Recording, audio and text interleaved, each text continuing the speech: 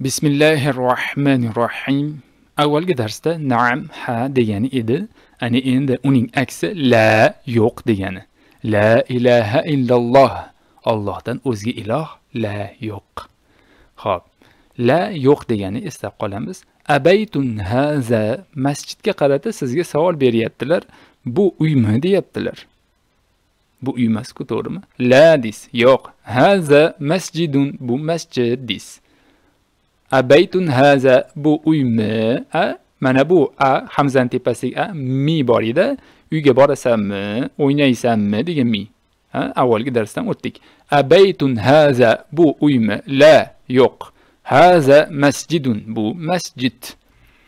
Adaftarun haza bu daftarmi kitobga qarata bu daftarmi deb savol beryaptilar. Siz o'zbek tilida ham yo'q bu kitobku deysiz ya'ni daftari kitobga qarata to'g'ri daftarmi deyaptilar. A daftarun haza bu daftarmi? La yo'q. Haza kitabun bu kitob. Keyingisi aqalamun haza kalitga qarata bu qalammi deyaptilar. Qalam emasku la yo'q. Haza miftahun yo'q. Bu kalit. Degani ho'p mana shuni o'zlashtirib olamiz.